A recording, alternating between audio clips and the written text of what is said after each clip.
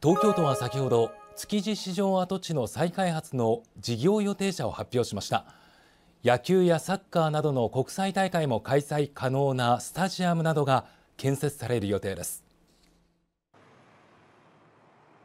東京都は築地市場の跡地の再開発を行う事業予定者として三井不動産を代表とする11の企業の共同企業体に決定したことを明らかにしました。この中には読売新聞や鹿島建設などが名を連ねます。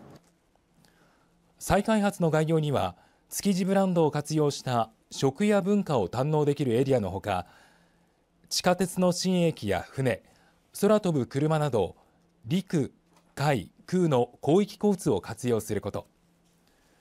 また野球サッカーなどさまざまなスポーツを行える収容人数およそ5万人の大型施設の建設などが盛り込まれています。来年度にぎわい施設を先行して着工し再開再開発エリア全体では2038年度中の完成を予定しています。ここからは都庁担当の記者の椿原さんと詳しくお伝えします。よろしくお願いします。よろしくお願いします築地市場の跡地はおよそ20ヘクタールの都有地で大規模な集客や国際交流の拠点などを整備することを条件に再開発を行う事業者を募集してきました。東京都によりますと今回の募集に対し2つのグループから提案があり審査員全員が今回採用された提案を選びました。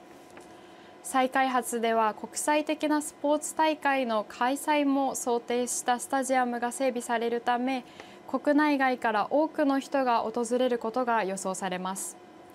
また築地ブランドを生かして食文化などを発信するほか隅田川を活用し東京の観光地を船でつなぐことでにぎわいにつなげます。